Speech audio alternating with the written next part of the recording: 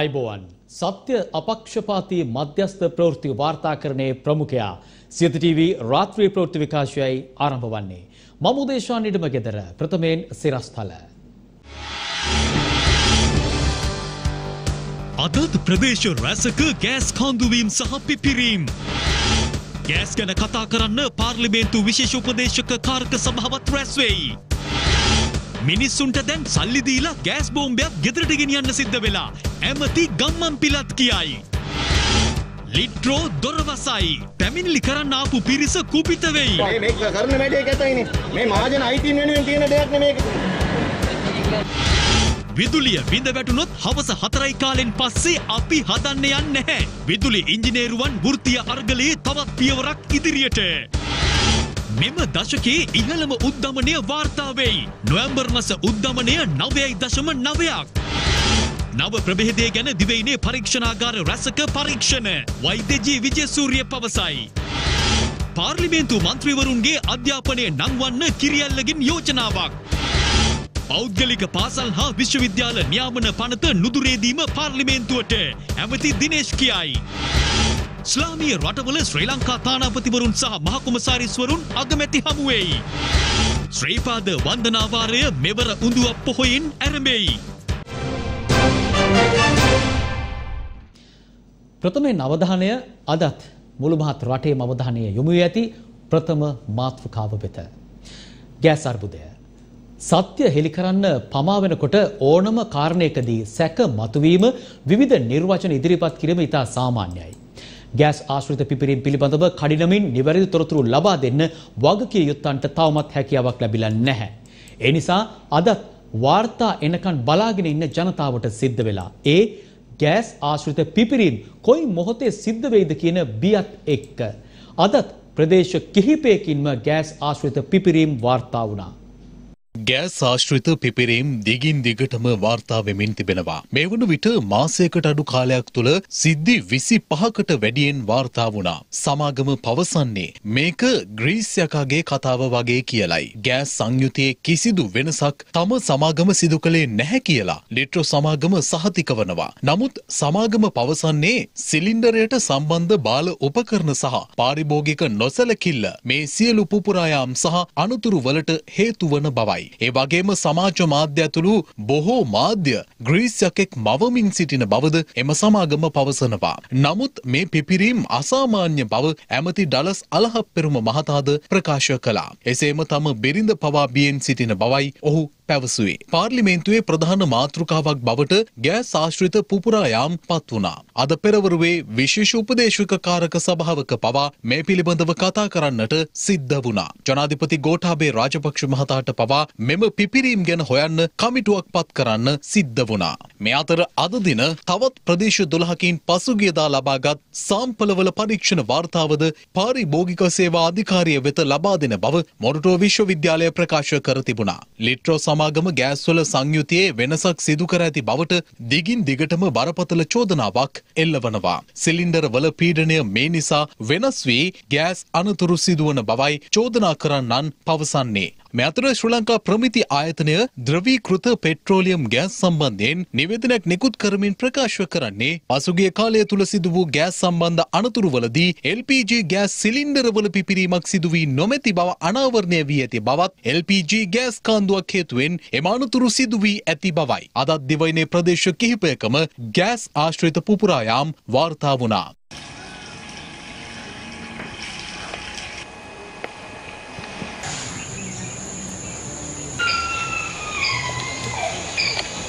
ඔව් ගහලාම තමයි.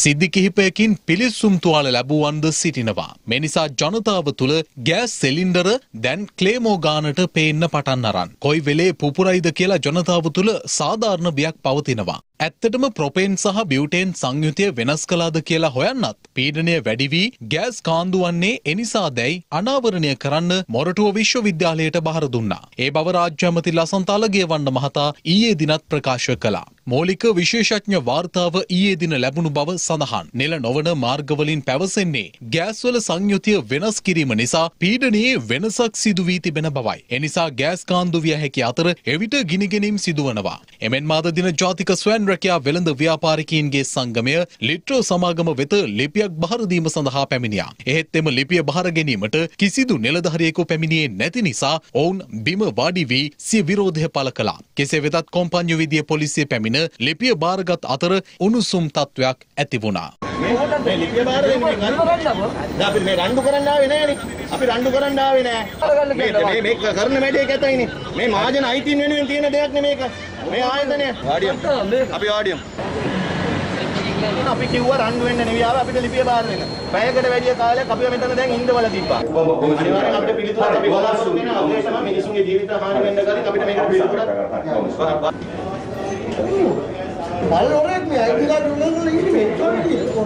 මේ දැන් මේ රජයේ මැරෙව වෙලා තියෙනවා. මේ ගෑස් කම්පැනි ඇතුළට දාගත්ත ඔය රජයේ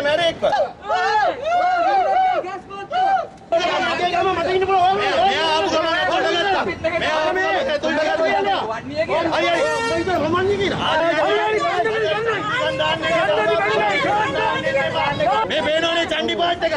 මේ මැරෙගේ චණ්ඩි පාට් එක පේනෝනේ. මේ අතර ගෑස් පිපිරීම් සම්බන්ධයෙන් අද සිවිල් සංවිධාන කොළඹදී මාධ්‍ය හමුවක් ඇඳවා තිබුණා. ආණ්ඩුව හෙටන්ද ඇවිල්ලා කියයි හරි මේ තියෙන ගෑස් එක මේක මේ සංයුතිය වෙනස් වෙලා මේක වෙන්නේ නැහැ. අපි වෙනත් එකක් ගේනවා මෙන්න මේකේ මිල දැන් 2500 නම් මේ හොඳ සංයුතියේ තියෙන ගෑස් එකක් රුපියල් 3000ක් වේ මෙන්න මේක උඹලා ගනින්න කියලා මෙන්න මෙතනට තමයි මේ රට අරන් යන්නේ මොළ හතෙන් එක වැඩක් තමයි මේ පෝර වලටත් මේකේමමයි ගැහුවේ වරායට මේකේමමයි ගැහුවේ මේ ගෑස් වලටත් මේකේම ලිපේ ප්‍රමිතිය පිළිබඳව දැන් ප්‍රශ්න කර රෙගුලේටරේ ඇයි හත් දිලව්වේ ලිපයි රෙගුලේටරේ නෙමෙයි මේ ගෑස් නිසානේ මේක මේ මේ කාන්දුව නිසා මේ වෙන්නේ බල මේ බාල සංයුතියෙන් ගෙනල්ලා ලාභ ලබා ගන්න. ඒ අනාගතයේදී දිගු කාලීන සලස්මක් සහිතව තමයි බල මේ වැඩේ කරේ. මේ LNG බලාගාරය කියන බලාගාරය මීට මාසකට දෙකට කලින් අත්සංකරපු රාත්‍රියේ පැමිණ ලිපි අද වෙනකං අපේ පාර්ලිමේන්තුවේ මන්ත්‍රීවරුන්ට බැලීමටවක්කත් අවස්ථාවක් නැති විදිහට හංගා තිබෙන්නේ කියන එක තමයි අපේ මේ ගෑස් ප්‍රශ්නයටත් ලොකුම රහසිගත ප්‍රශ්න කියන එක මම විශේෂ අවධානයට යොමු කරන්න ඕනේ. ජනතාව පුපුරා එළියට බහිනවා මේ ආණ්ඩුවට විරුද්ධව මේ වැඩේ නිසා. මේ අතර රජයේ පාර්ශවයේම ඇමතිවරයෙකු වන උදය ගම්මන්පිල මහතා ප්‍රකාශ කළේ ජනතාවට සල්ලි දීලා ගෑස් බෝම්බයක් දැන් ගෙදර අරන් යන්න සිද්ධ වෙලා කියලයි. ඉතා පැහැදිලිව කියන්න ඕනේ ගෑස් ටැංකි පුපුරා යෑමක් නෙවෙයි සිද්ධ වෙලා තියෙන්නේ. ගෑස් වලින් ඇතිවන පුපුරා යෑමක්. නිසා මේ ගෑස් ක්ෂේත්‍රයේ මම මහජන උපයෝගිතා කොමිෂන් සභාවෙන් ඉල්ලා සිටිනවා මේ අනෙකුත් ඉන්ධන වලට වඩා මේ මොහොතේ වඩාත් වැදගත් වෙලා තියෙන්නේ මේ ගෑස් ක්ෂේත්‍රය නියාමනය කිරීමයි. මේ අය කිව්වා මේකේ ප්‍රොපේන් 130ක් තියෙන්න ඕනි, බියුටේන් 70ක් තියෙන්න ඕනි. දෙකම 150 50 තමයි ගෑස් සිලින්ඩර් වල තියෙන්නේ.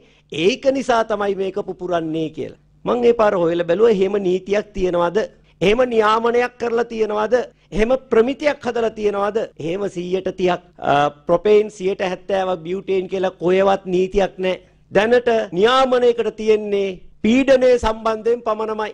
අද අපේ රටේ පාරිභෝගිකයෝ බියෙන් පෙළෙනවා. මෙතෙක්කල් අපි බයෙන් හිටියේ අපට හොරෙන් අනුන් ඇවිල්ලා තියෙන බෝම්බයකට. දැන් ගෙදර තියෙන ගෑස් සිලින්ඩරේ සියදිවි හානි කරගන්න සල්ලි දීලා ගෙදර අරන් ගිය බෝම්බයක් බවට පත් වෙලා තියෙනවා. මේ බය නැති කළ හැක්කේ ඇත්ත හේතුව හොයාගෙන ඒ ප්‍රසිද්ධ කරලා ඒ හේතුව මගහැර ගන්න ක්‍රමවේදයක් හැදීමෙන් පමණයි. මේ අතර ලිට්‍රෝ ගෑස් සමාගම අද විශේෂ මාධ්‍ය හමුවක් පස්වරුවේ කැඳවා තිබුණා. එහිදී මාධ්‍යවේදීන් යොමු කළ ප්‍රශ්න රැසකට මුහුණ දෙන්නට ඔවුන්ට සිදු වුණා.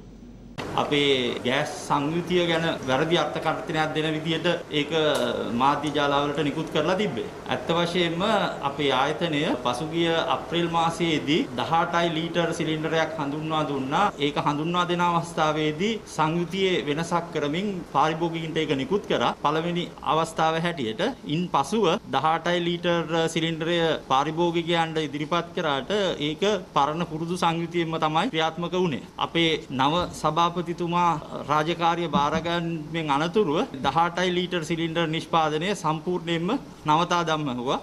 ඒ සංයුතිය වෙනස් කළේ ඒක පළවෙනි බැජ් එක හැටියට අපි අප්‍රේල් මාසයේ ඒක වෙළඳපොළට නිකුත් කරනකොට 50ට 50 සංයුතියෙන් නිකුත් කරා පළවෙනි බැජ් එක. ඔය 12.5 සමාන සමාන නෙවෙයි මහත්තයා දැන් 9.7ක් අඩු කළනේ. ඒක තමයි 18යි 18යි L කියන එකෙන් අදහස් කරේ 12.5 නෙමෙයි ඒ සිලින්ඩරේ 18යි L කියන අලුත් මේ නෑ ඒක 18යි L එකේ තිබ්බේ 9.7යි නේද කේජි. ඔව්. උත්මයි ඉස්සෙල්ලා එහෙනම් එහෙම තිබ්බේ නැත්තේ. පටන් ගන්නවා. ඒක අපි වෙළඳපොළට නිකුත් කරේ 18යි L කියන නමින්මයි. ඉතින් මම අහන්නේ මහත්තයා කරුණාකර ජනතාව රවට්ටන්න බෑ. දැන් මේකෙත් කියලා මේ තියසනේ වෙලා තියෙන්නේ ඔබතුමන්ලා මේ ජනතාවට රවට්ටපු නිසා. ඔබතුමා කිව්වා අප්‍රේල් 18 වෙනිදා දැම්මේ දීපරක 18යි L කියලා කිසිම සංවිධි වෙනසක් නොකර දැම්ම කියලා ඉස්සර කිව්වනේ මම පටන් ගන්නකොට. පටන් ගන්නකොට ඔබතුමා කිව්වේ නෑ. නා අපි 9.7ක් තමයි කිලෝග්‍රෑම් වෙළඳපොළට දැම්මේ කියලා. ඒ ප්‍රොඩක්ට් එක ඉන්ට්‍රොඩියුස් කරේම අපේ කැම්පේන් එකම ගියේ 18යි L කියන නම. දැනට වෙළඳ පොලේ තියෙන මේ ගෑස් වල සංයුතිය මොකක්ද? මේ දැන් වෙනකොට දැන් මේ සිදුවීම් සිද්ධ වෙන ගෑස් වල තියෙන සංයුතිය? සාමාන්‍ය 100ට 30ක් 35ක් අතර 30ක් 40ක් අතර තියෙනවා ප්‍රොපේන්. 60ක් 70ක් අතර තියෙනවා බියුටේන්. දැන් ඒවා පිටිනික් ඇටි 18 ඊට සිග්නේචර් වල මොකද කරේ? කියන්නේ මට තේරෙන්නේ නැහැ. අවුරුදු 26ක එක්ස්පීරියන්ස් තියනවා නම් එක 18 ලිටරක දානකොට ඇයි ඔබතුමන්ලා ඒ ගැන විශේෂඥ ධර්මයක් තියෙන කෙනෙක් හැටියට නම් දෙයක් කරේ නැත්තේ? නෑ ඒක ඒක සාමූහිකව ගන්න තීරණයක්. සභාපතිතුමාට පහලක නිලධාරියෙක් විදිහට ඔබතුමාට කිව්වොත් මේ කරන වැඩේ වැරදි මේක ප්‍රමිති සම්බන්ධයෙන් ප්‍රශ්නයක් කියලා දැනුම් දීමක් කළාද? කියන්න මේ එහෙම අවස්ථාවක් ආවෙත් නෑ. ඉතින් අපි එහෙම මේ කියන්නේ ඉන්ඩිවිජුවලි ගිහින් කියන්නේ නෑ. අපි සාමාන්‍ය සාමූහිකව රැස්සලා ගන්නා වූ තීරණයක් තමයි ඔය කියන්නේ. එලේ ඔබතුමාලා ආයතනයේ සාමූහිකව රටට බොරු කිව්ව ජනතාවට බොරු කිව්වා. ඒක ඔබතුමාලා පිළිගන්නද ඔබතුමාලා සාමූහිකව රටට ජනතාවට බොරු කරලා දැම්මද?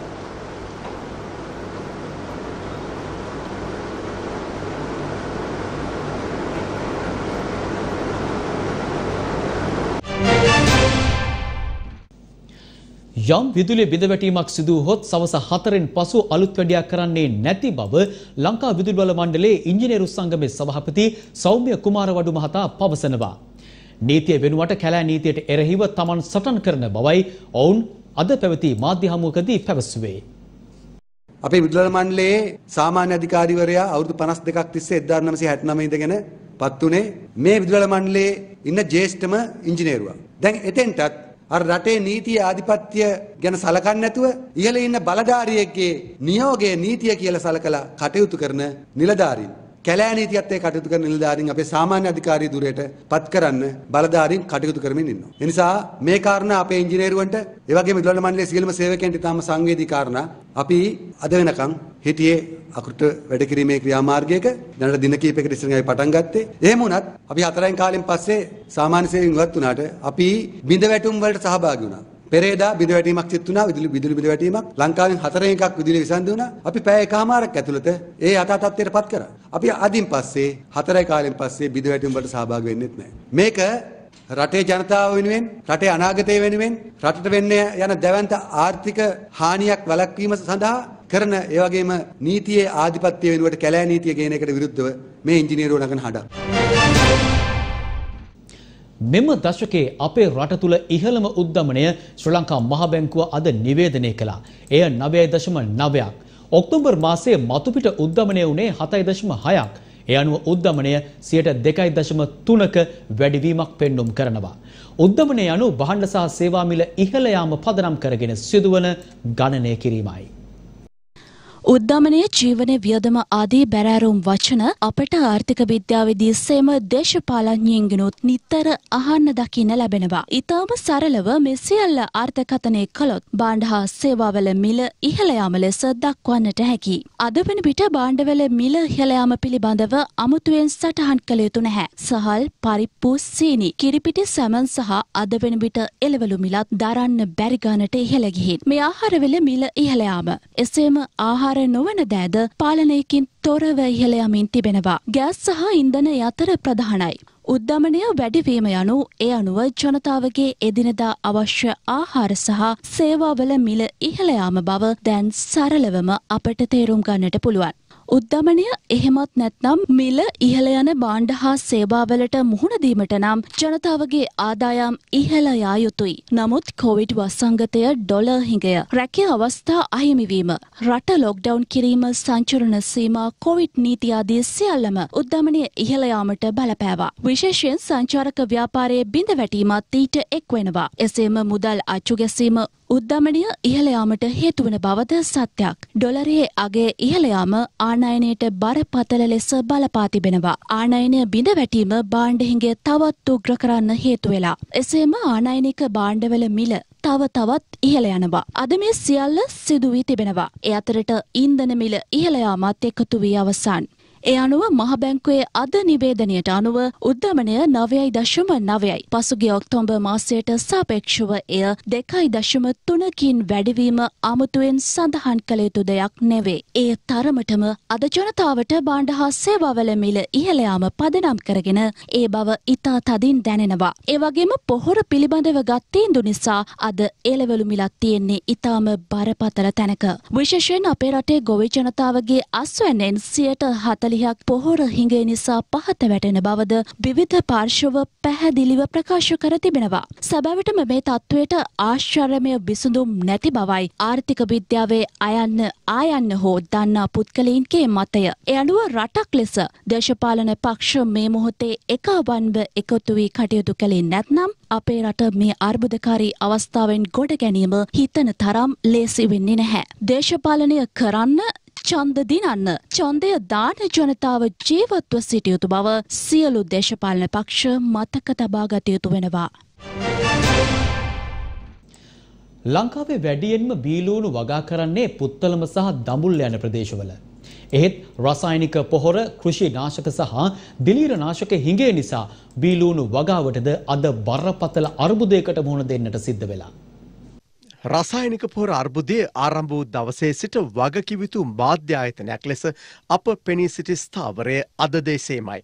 අප නිරන්තරයෙන්ම අවධාරණය කළේ කාබනික පොහොර පිළිබඳ ජනාධිපති ගෝටාබේ රාජපක්ෂ මහතාගේ සංකල්පය ඉතා ඉහළ බවයි.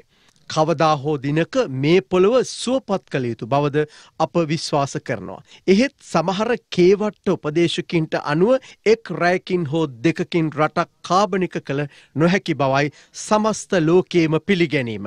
කෘෂි විද්‍යාඥීන් සහ විශේෂඥන්ගේ මතයද එයයි. රසායනික පොහොර සහ කෘෂි රසායනික ද්‍රව්‍ය තහනම නිසා කොවිඩ් වලින් බැටකෑබ් අපට කබලෙන් ලිපට වැටෙන්ට සිදූ බව අප පෙන්වා දුන්නා. මෙවර මහකන්නේ වී වගාව අදත් අනතුරේ. තේවගාවට අවශ්‍ය රසායනික පොහොර නැතිකම නිසා කුමක්ද සිදුව ඇත්තේ කියලා අප ඊයේත් වාර්තා කළා. එළවලු වගාවත් එසේමයි. බඩේරුඟු ගොවියන්ට සිදුව ඇත්තේ කුමක්ද කියලා මොන්ඩ්‍රාගලාදී ප්‍රදේශවලින් දැනුත් ඇසෙන අඳෝනාව අපූරුවට විග්‍රහ කරනවා. අද අපට දඹුල්ලෙන් වාර්තා වුණේ බීලුණු ගොවියන්ගේ දුක පිළිබඳ කතාව. රස්සායනික පොහොර සහ කෘෂි රසායන නැති නිසා බීලුණු වගාවට මොකද වෙලා තියෙන්නේ කියලා මේ ගොවියන්ගේ හඬට කන් දුන්නාම කාට කාටත් පැහැදිලි වෙයි. බීලුණු වගා කරපු ගොවිනුත් දැන් වෙනත් භෝගවලට මාරු වෙමින් පවතිනවා. එළවලු වගා කරනවා වී ගොවිතැන බීලුණු අපි ගලවන කාලෙට මිල බොහොම අඩුයි. ගලවලා ඔක්කොම විකුණනට පස්සේ අලි කරා අලවි කරාට පස්සේ මිල වැඩි කරලා ඒ විකුණනවා. බොතුක බීලුණුට පොහොර අනිවාර්යයෙන්ම ඕනේ. පොහොර නැතුව කරන්නත් බෑ. දැන් ලුණු නෑ ගොයියොන්නේ. මිල තිබ්බට. ලුණු ගොයියෝ දැන් 100ට 100ක්ම ආගේ ඇත්තලා ඉන්නේ. දමුල්ල කියන්නේ මේ හොඳට බීලුණු වගා කරපු ප්‍රදේශයක්. නමුත් දැන් දමුල්ලේ 100ට 100ක් වගේම ලුණු ගොවිතැන් කරන්නේ නැහැ. කොම්පෝස්ට් වලින් කරන්න බෑ බීලුණු. අපිට තෙල් පොහොර ටික දෙන්න කියලා තමයි අපි කියන්නේ. ඉවත් වෙන්නේ හරි අමාරුවෙන් අපි. ඉන්දියාවේ නරේන්ද්‍ර මෝදී අග්‍රාමාත්‍යවරයා ගොවීන්ට ඇහුම්කන් දුන්නම ඔහුව ජාතික වීරයෙකු විදිහට දකින බව පාර්ලිමේන්තු මන්ත්‍රී ඩිලන් පෙරේරා මහතා පවසනවා. එහෙත් අපේ රටේ රසායනික පොහොර අවසරයට යලි ඉඩ දුන්න එක රිවර්ස් කළා කියලා අපේ මාධ්‍ය වාර්තා කරන බවයි ඔහු පවසන්නේ. රසායනික පොහොර තහනම් කරනවත් එක්කම රසායනික දියර පොහොර දැන් මේ වෙනකොට අ, වෙළඳ පොළවල් වල රුපියල් 2000ට තිබුණු පොහොරක දැන් දියර පොහොරක රුපියල් 7000ත් 8000ත් අතර තියෙනවා. 10000ටත් තියෙනවා පමණක් දියර පොහොර. සමහර ලියාපදිංචි නොවන තත්ත්ව පරීක්ෂාවකින් ප්‍රමිති පරීක්ෂාවකින් තොරව නිෂ්පාදකයෝ ඉතාමත් කූට ලෙස මේවට මිල ගණන් කැඳවලා තියෙනවා. මිල ගණන් තබලා තියෙනවා. ලබන සතිය බදාද වෙනකොට අම්පාරයෙන් පටන් අරගෙන පොළොන්නරුව අනුරාධපුර දක්වා සියලුම අ, සහ පොහොර සහනාධාරය ලබා දෙන ගොවියන් සඳහා අවශ්‍ය දියර පොහොර සියල්ල ලබා දීලා අවසන් කරනවා. ඊළඟ සිකුරාදා වෙනකොට අපිට පුළුවන් වේවි නැනෝ නයිට්‍රජන් දීලා ලබා අවසන් කරන්න. ඒකේ ප්‍රමාදයක් සිදු වුණා අපි ඒක පිළිගන්නවා. ඉන්දියාවේ අගමැති මෝදි ගොවියන් ගොවියන් සම්බන්ධයෙන් ගෙනාපු නීති අකුල ගන්නකොට ජනතාවට කන්දුන්න ප්‍රජාතන්ත්‍රවාදී නායකයෙක්. අපි කාබනික පෝර කියන හොඳ සංකල්පය ගෙනල්ලා හැබැයි ඒක ගෙනීමේදී ඇතිවෙච්ච අඩුපාඩුකම් මත ගොවි ජනතාවට එන ප්‍රශ්න විසඳන්න යමෙක් වෙනස් කරනකොට. මේ රිවර්ස් මෝඩි කරන වැඩේ රිවර්ස් නෙමෙයි. ටොප් ගියර් කාබනික පොර ඉතාමත් හොඳයි. වසවිසෙන් තොර වගාව හොඳයි. හැබැයි ඒක නවත්තනකොට අපට අවශ්‍ය වෙන කාබනික පොර ටික දෙනවනම් ඒ ටික ගන්න තියෙනවනම් ඒ ටික ලැබෙනවනම් අපි සූදානම් රසායනික පොර ටික පත්තකින් තියලා කාබනික පොර ටික ගන්න. අදත් අපිට ගන්න පොර ටික නෑ. අදට බඩේරි ගොවින්ද අපි මෙට්‍රික් ටන් 5000 වෙන් කරගත්තා ඉතුරුලා තිබිච්ච පොර මෙට්‍රික් ටන් 10000යි හැබැයි තාමත් අපිට 5000 ලැබිලා නැහැ. මේ තීන්දුව අරගෙන මාස කමාරක් විතර වෙනවා. අපේ ගොවි මාතුරු ටික බඩේරි ගොවියෝ ටික මුදල් ටික බඳලා සති තුන සති හතර බලන් ඉන්නවා. තාමත් අපිට ලංකාව ඇතුලේ තියෙන යූරියා ටික කොම්පැනියක් සතුව තියෙන යූරියා ටික ආණ්ඩුවේ ජනාධිපතිතුමාගේ නම් අමතුමා දක්වා තීන්දුව ටික අරගෙන මේක දෙන්න කියලා ලියුම් ගාලා අනුමත කරලා අවසර දීලා තාම ඒ කොම්පැනියේ පෝර ටික අපිට ගමට ගෙන්න ගන්න බැරි වෙලා තියෙනවා ජනාධපතිතුමා මේ තීන්දුව ගත්තේ මෙරටේ ජනතාවට වසවිසෙන් තොර ආහාර වේලක් ලබා දෙන්න. අපේ හාමුදුරනේ අවාසනාවකට රටේ මේ ගත් ඓතිහාසික තීන්දුව අපිට සමාජගත කරගන්න බැරි වුණා. ඒකට ආණ්ඩුවක් හැටියට අපිත් වග කියන්න ඕන. හැමදාම හවස ආලින්දේ රූපවාහිනියට ගියාම මේකේ වැරදි පැත්ත පෙන්වුවා හැරෙන්න මේකෙන් වෙච්ච හානිය පිළිබඳ කතිකාවකට යෙදුවේ නැහැ. අපි කියන දේ මාධ්‍ය වෙන විදිහකට ගත්තේ. හැමදාම ආර්ථික මධ්‍යස්ථාන වලට ගිහලා අපේ මාධ්‍ය වේදිකව අල්ලනවා කැමරාවක්. කීයද කැරට් කිලෝ එක 500යි, ලුණු කිලෝ එක 500යි, යල කිලෝ එක 500යි, කැරට් වලයක් මෙච්චරයි, යල ගෙඩියක් මෙච්චරයි. රසායනික පොහොර තහනම ඉවත් කළා දවස් දෙකක් ගියාට පස්සේ අපේ හාමුදුරනේ කියනවා හා 500 කැරට් කිලෝ එක 250යි, 500 යල කිලෝ එක 250යි, මෙච්චර කැරට් වලේ මෙච්චරයි, මෙච්චර යල ගෙඩිය මෙච්චරයි කියලා ඒ රූපවාහිනියෙම පෙන්වුවා අපේ. හාමුදුරනේ දෙසැම්බර් පහල වෙනකොට හෙක්ටයාර් අට ලක්ෂ හතලිස්සට දාහම ගොවියෝ මේ රටේ වගා කරනවා. අපි හැප්පුනේ සීගිරි කන්දටත් ගලත්තත් එහාගිය රසායනික මාෆියාවක් එක්ක අපේ අනුනායක හාම. ඔමික්‍රෝන් කොවිඩ් වෛරස් ප්‍රභේදය මර්ධනයට දැනට ඇති එන්නත් වලට බොහෝ විට හැකියාව ඇතැයි මොඩනාහි ප්‍රධාන විධායක ස්ටෙෆන් බෙන්සිල් පවසනවා. ඉදිරි සති දෙක තුළ විද්‍යාඥයින් ඔමික්‍රෝන් ගැන සියලු සත්‍යයන් අනාවරණය කරගනු ඇතැයිද ඔහු පෙන්වා දෙනවා. ශ්‍රී ලංකාවද ඔමික්‍රෝන් වෛරසයට මුහුණ දීම සඳහා මෙවන විට විවිධ ආරක්ෂණ පියවර ගනිමින් සිටින බවයි සෞඛ්‍ය අමාත්‍යාංශය පවසන්නේ. මේ අතර ඊයේ දවසේ වාර්තා වූ කොවිඩ් මරණ 26ක් පිළිබඳ තොරතුරු අද දින වාර්තා වුණා. ඔමික්‍රෝන් කොවිඩ් වෛරස් ප්‍රභේදය හඳුනාගෙන තවමත් ගෙවී ඇත්තේ දින කිහිපයක් පමණයි. දකුණු අප්‍රිකාවෙන් මෙම කොවිඩ් වෛරස් ප්‍රභේදය වාර්තා වුණත් මේ වන විට ලෝකයේ තවත් රටවල් කිහිපයකින් ඔමික්‍රෝන් ආසාදිතීන් හමුව තිබෙනවා. ජර්මනිය සහ එංගලන්තයේද ඒ අතර වනවා. මෙම බොහෝ යුරෝපීය රටවලට දෙසැම්බර් මාසය යනු අතිශය සැනකෙලි සමයක්. නමුත් නව කොවිඩ් වෛරස් ප්‍රභේදය වන ඔමික්‍රෝන් නිසා යුරෝපයට වසන්තය අහිමිවීමේ අවධානමක් මතුව තිබෙනවා. ඔමික්‍රෝන් හඳුනා ගැනීමත් සමග ලෝකයේ බොහෝ බොහෝ රටවල් දකුණු අප්‍රිකාවට සංචාරක සීමා පැනවුවා.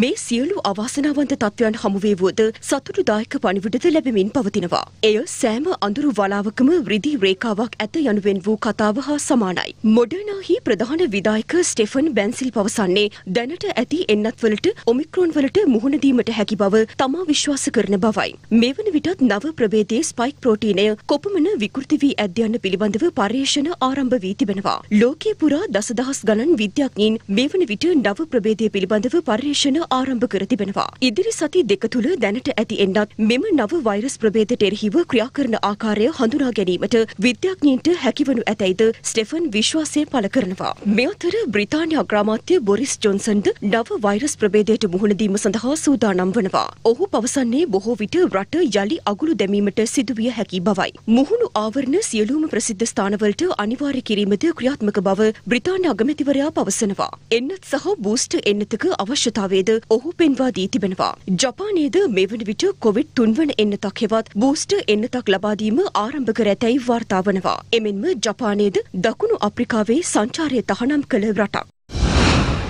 මෙතර ශ්‍රී ලංකාවද ඔමික්‍රෝන් වෛරසයට මුහුණ දීම සඳහා විවිධ ආරක්ෂක පියවර ගනිමින් සිටින බව සෞඛ්‍යංශ පවසනවා. මේ නව ප්‍රබේදය පිළිබඳව තොරතුරු සෑහන ප්‍රමාණයක් අපිට මේද වෙන විට නෑ මේක අපේ රටට පැමිණෙන්නේ නෑ කියලා කිසිම ආකාරයක සහතිකයක් දීමට හැකියාවක් නෑ. අපි දිවයිනේ රසායනාගාර රාශියකින් මේ නව ප්‍රභේදය පිළිබඳ අධ්‍යයනයන් සිදු කරමින් පවතිනවා. විදේශවලින් පැමිණෙන අය පිළිබඳව දැඩි ක්‍රමවේදයක් අනුගමනය කරමින් අපි ඔවුන්ගේ පරීක්ෂාවට ලක් කිරීම සිදු කරනවා. ඒ මගින් අපි උත්සාහ කරනවා පුළුවන් තරම් අපේ රටට මේක පැමිණීම සහ පැතිරීම වළක්වා ගැනීම සඳහා සාමාන්‍ය එදිනෙදා රාජකාරී වලට පරිබාහිරව නිකරුණේ එළියට යාම වළක්වා ගන්න. ඒ වගේම වයස අවුරුදු 60 වඩා වැඩි පිරිස් අනවශ්‍ය ලෙස ගමන් බිමන් යාමෙන් වළකින්න නිවෙස්වල රැඳී සිටින්න එන්නත ලබා ගත්තේ නැති පිරිස් ඉන්නවා නම් වහාම ඒ අයට එන්නත ලබා දීම සඳහා කටයුතු කරන්න. වහාම පාසල් දරුවන්ගේ පහසුකම් සේවා ගාස්තු ඉවත් කරන්න කියලා විපක්ෂ නායක සජිත් ප්‍රේමදාස මහතා පාර්ලිමේන්තුවේදී අද ඉල්ලීමක් කළා. ඊට අවධානය යොමු කරන බව අධ්‍යාපන අමාත්‍ය දිනේෂ් ගුණවර්ධන මහතා පැවසුවා. මේ අතර බෝඩ් ලෑල්ලට පමණක් තාප්පයට පමණක් සීමා වූ ජාතික පාසල් ගැනද පාර්ලිමේන්තුවේ අවධානය යොමු වුණා. දරුවන්ගේ පොත්වල බර අඩු කරලා අධ්‍යාපන ප්‍රතිසංස්කරණ ඇති කළ යුතු බවයි රාජ්‍ය අමාත්‍ය සුසිල් ප්‍රේමජයත් මහතා පැවසුවේ. සම්පූර්ණයෙන්ම විදේශ මුදල් වලින් යැපෙන ණය ආධාර වලින් යැපෙන අමාත්‍යාංශයක් හැටියට මේ අමාත්‍යාංශය පවතින. ජල සම්පාද ශේෂ්ත්‍රයට they are allocating 1 trillion for the next 2 3 years. You are getting only 250 million dollars. So what is this joke? දැවන්ත මුදලක් පළාත් සභා වැසීසේ තිබෙනවා අධ්‍යාපනය සඳහා. ඒ වැසීසයන් ඒකාබද්ධ කර ගනිමින් තමයි අධ්‍යාපන වැඩසටහන ගමන් කරන්නේ. පෞද්ගලික විශ්වවිද්‍යාල පෞද්ගලික පාසල් ඒවා හරියාකාර නියාමනයකට පත් වෙලා නැහැ. රජයේ තීරණය කළා තියෙනවා අධ්‍යාපන කොමිෂන් සභාව සමග සාකච්ඡා කරා නියාමයකට පරිවර්තනය කරන මේ පනත පාර්ලිමේන්තුවට ගේනවා. කාන්තාවන් බහුතරයක් සිටින රටක කාන්තා සහ දරුවන්ගේ විෂය වෙනුවෙන් වෙනමම කැබිනට් අමාත්‍ය ධූරයක් නොතිබීම ගැන අපි බලවත් ලෙස කනගාටු වෙනවා. කාන්තා කටයුතු විශේභාර රාජ්‍ය ඇමතිවරයෙක් දන්නේ නැහැ කියනවා නම් මං හිතන්නේ එතුමාගේ තත්ත්වය ගැන ඉස්සෙල්ලා හොයලා බලන්න වෙනවා. මම කතා කරේ කාන්තා කැබිනට් අමාත්‍ය ධූරයක් පිළිබඳව. බොහෝ පාසල්වල දැන් ආපහු පටන් අරන්ලු දරුවන්ගෙන් පහසුකම් සහ සේවා ගාස්තු ලබා ගන්න. වහාම චක්‍රලේඛයක් නිකුත් කරන්න ඔය පහසුකම් සහ සේවා ගාස්තු අය කිරීම අද දවසේ සිට ඒක තහනම් ක්‍රියාවක් බවට පත් කරන්න. ස්තුතිවන්ත වෙන මේ කාරණේ මතු කරාට අපි මැදිහත් වෙන්න. 10167ක් මේ රටේ පාසල්. 7000ක තත්ත්වය හොඳ නැහැ. 314ක් තියෙනවා ජාතික පාසල්. 100ක තත්ත්වය හොඳ නැහැ. 250000ක් මේ රටේ දෙමව්පියෝ අතර ඉන්න ශක්තිමත්ම දෙමව්පියෝ. මේ දෙමව්පියන්ට කියන්න පාසලට උදව් කරන්න කියලා. බොහෝම ලේසියෙන් අධ්‍යාපනයට බිලියන එකහමාරක විතර මාසික අරමුදලක් හදා ගන්න පුළුවන්. ඒක පෙන්නලා එක්සිම් බැංක් එකකින් බිලියන 25000ක් 30000ක් අරගෙන මේ ඉස්කෝලවල තියෙන ප්‍රශ්න ටික සේරම අවුරුදු දෙකෙන් සම්පූර්ණයෙන් ඉවර කරන්න පුළුවන්. කොතලාවල පනත ගේන්න. ඒ විරෝධයට බය වෙන්න එපා. සොයිට් එකට ගහන්න එපා. කස් අධ්‍යාපනය මේ රටට විදේශ විනිමය ගෙනෙන දෙයක් කරන්න පුළුවන්. දැන් මන්ත්‍රීවරුන්ගේ අධ්‍යාපනය මැදි කියලා හැමතැනම කතිකාවතක් තියෙනවා. ඉතින් අපි මන්ත්‍රීවරුන්ට උදව් කරමු. අධ්‍යාපනයක් ලබා ගන්න. 1970 ගණන් වල මේ පාර්ලිමේන්තුවේ හිටපු මන්ත්‍රීවරුන්ට නීති විද්‍යාලයට විභාගයක් නැතුව ඇතුල් වෙන්න අවස්ථාව ලබා දුන්නා. පාසල් අතර විෂමතා අවම කිරීම සඳහා නවීන පන්නේ ජාත්‍යන්තර පාසල් වලට බදු සහන සහ ඉඩම් ලබා දීමේ යෝජනාවක් මේ අයවැය ලේඛනය තුල තියෙනවා. මේ පාසල් වල තියෙන අසමානතාවලට කොහොමද ඒක යෝජනයක් වෙන්නේ කියන එක ඇත්තටම මට විශාල ප්‍රහේලිකාවක්. මුදල් මත තමයි අධ්‍යාපනය රැඳෙන්නේ. ටියුෂන් වලට ගියේ නැත්නම් විභාගයකට පෙනී ඉන්න බැරි තත්ත්වයක් අද තියෙන්නේ. ඉතින් මේවට තමයි අපිට විසඳුම අවශ්‍ය. ටැබ් පරිගණකයක් දරුවන්ට ලබා දීම. පෙළපොත් වලට කරන වියදමයි අර වියදම අතර බැලුවම ලොකු වෙනසක් වෙන්නේ නැහැ. කුමාතුංග මුනිදාස ප්‍රඥාගේ අලුත් අලුත් දේ නොතන ජාතිය ලොව නොනගී යන කවියෙහි ඊළඟ පදයේද ඔබගේ අවධානයට යොමු කිරීමට කැමැත්තේ. හිඟා කෑම බැරි වුණු තැන ලගිග්ගයා there. මරගී. අභියෝග හමුවේ මරගී ගයා ඇතපෙනවාද එසේත් නැත්නම් අදිෂ්ඨාන ලෙස ලෝ හමුවේ නැගී සිටිනවාද යන්න අද අප ගන්නා පියවර මත තීරණය වනු ඇත. ජාතික පාසල් 1000ක් අලුතෙන් එක් කිරීමේ වැඩසටහන නම් සතුටු වෙන්න පුළුවන් කාරණයක් නෙමෙයි. ජාතික පාසලක් බවට ඒක පත් වෙනකොට රුපියල් මිලියන දෙකක් ලැබෙනවා ලොකු බෝඩ් එකක් ගහනවා ඉස්සරහා පාසල ඉස්සරහින්. එතනින් එහාට දෙයක් පිළිබඳව දෙයක් නැහැ. දරුවන් 4000කට අද වෙනකොට සුරක්ෂා රක්ෂණය නැහැ. දරුවන් පිරිසක් එක්ක කින්යාවේදී පෙරළුණා පාරුවක්. අධ්‍යාපන ඇමතුමාට අහෙන්න අර දොලියේ ඉන්නේ. සුරක්ෂා රක්ෂණය නිසා රක්ෂණය ගැන කතා කරන්න විලිලැජ්ජයි.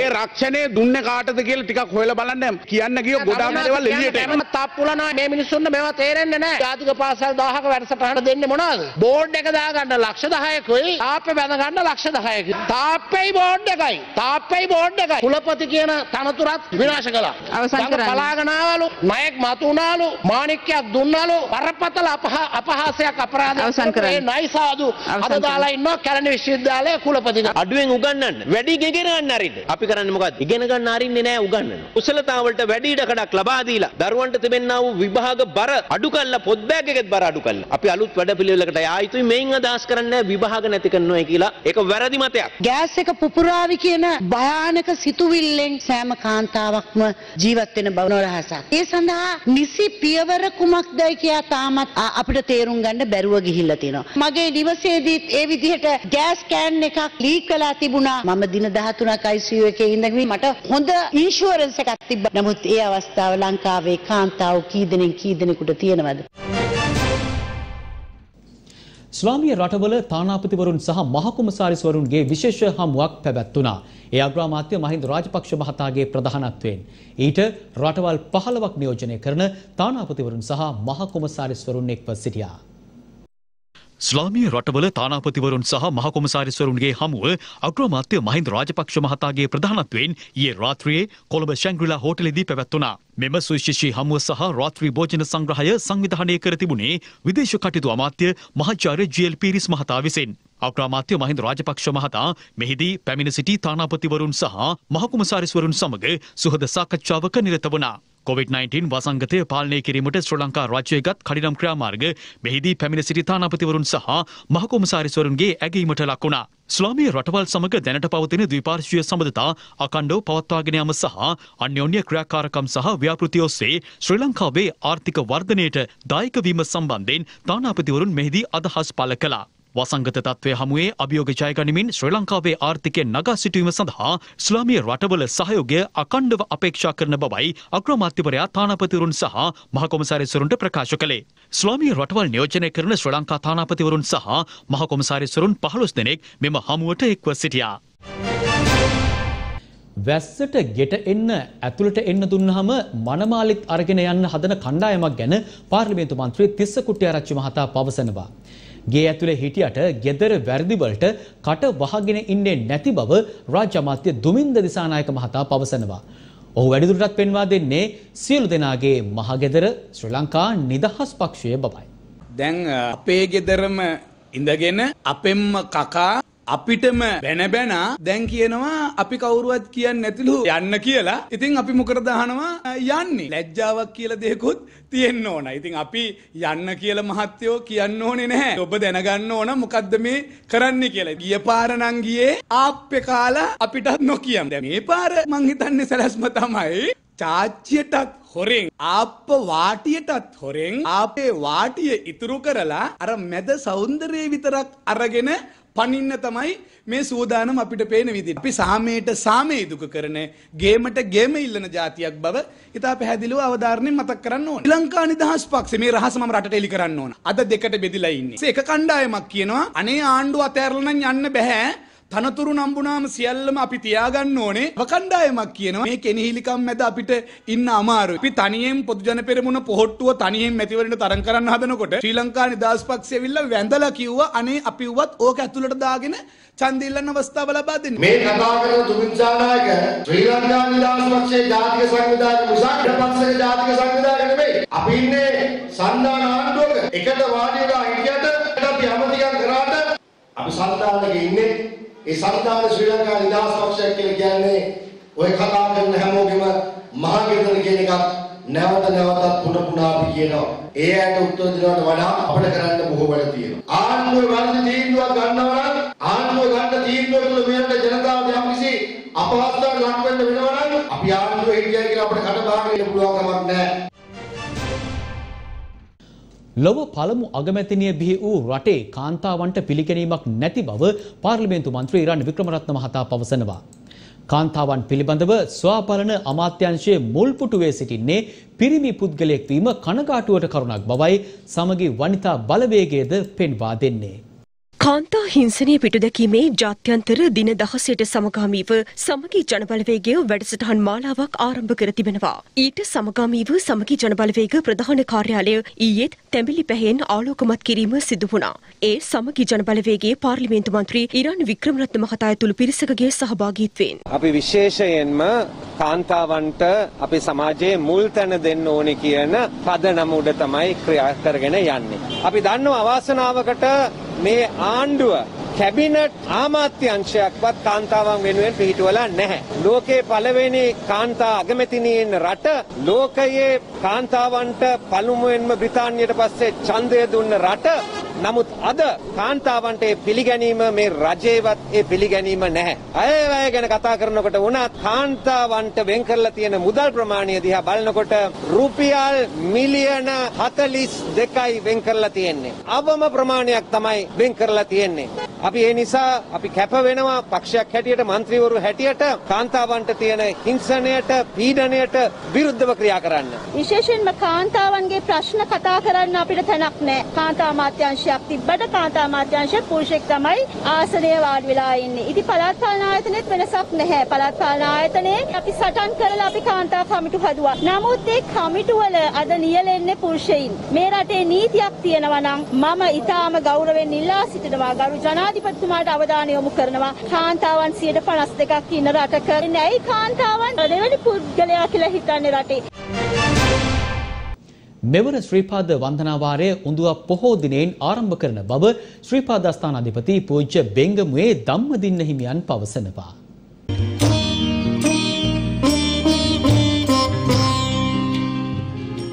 වසර දෙකකට ආසන්න කාලයක් තුළ සියලු බැතිමතුන්ට ශ්‍රීපාදස්ථානයේ වන්දනා කිරීමට නොහැකි වුණා. ඒ කොවිඩ් වෛරස තත්ත්වය පැතිර යාම හේතුවෙන්. මෙවර ශ්‍රීපාද වන්දනාවාරය මේ මස උඳුවක් පොහොය දිනෙන් ආරම්භ කරන බව ශ්‍රීපාදස්ථානාධිපති පූජ්‍ය බෙන්ගමුවේ ධම්මදින නායක ස්වාමීන් වහන්සේ ප්‍රකාශ කර තිබෙනවා. උන්වහන්සේ ඒ බව කියා සිටියේ දෙදහස් විසි එක විසි දෙක වසර සඳහා ශ්‍රීපාද වන්දනාවාරය ආරම්භ කිරීම සම්බන්ධයෙන් නල්ලතන්නිය ග්‍රාම සේවා නිලධහරී කාර්යාල පරිශ්‍රයේ පැවති විශේෂ රැස්වීමකදී. දෙදස් විස්සි එක විසි දෙක වන්දනා වාරය. මේ වන්දනා වාරයේ උඳුවක් පුර පසළොස්වක පොහොයෙන් ආරම්භ වෙලා වෙසක් පොහොයෙන් නිමවීම සිරිත. උඳුවක් පොහොයට පෙර දින ගල්පොත්තාවල ශ්‍රීපාද රජමහා විහාරයේදී අලුයම හැටන් පාරේ පළවෙනිම පෙරහැර 18 වෙනිදා අලුයම වෙන්නේ ඉස්සෙල්ලා ආලෝක පූජාව පහන දල්වන්න ඕන. ශ්‍රීපාද පත්මයේ සුවඳ පැනින් නාවන්න ඕන. විශේෂ බුදු සිරිත් ටික ඉෂ්ට සිද්ධ කරන්න ඕන. දේව ප්‍රතිමාව කරඬුව තැන්පත් කරන්න ඕන අලුයම් කාලේ. සියලුම දෙනා බැතිමතුන් සෞඛ්‍ය ඒ ආරක්ෂක විධිවිධාන ඒ වෛද්‍යවරුන්ගේ ඒ සෞඛ්‍ය අංශවල රජයේ තිබෙන ඒවා පිළිපදින් පිළිපැදලා මුඛාවරණය යොදා ගන්න. මේ උතුම් කාර්යය සිද්ධ කරන්නට පැමිණීමෙන් තිරුවන් සරණ ලැබිලා සමන් දෙවියන්ගේ පිහිට ලැබිලා මෙලොව ජීවිත සාර්ථක වේවා. එම පුවතත් සමගින් අප ඔබෙන් සමුගන්නවා යළිත් හමුවෙමු උදැස්සන ප්‍රවෘත්ති සමගින් සුබරාත්‍රයක් දිනපතා අලුත් වීඩියෝ සහ ප්‍රවෘත්ති නැරඹීමට ඉහත බටන එක ක්ලික් කර සියත TV සබස්ක්‍රයිබ් කරන්න.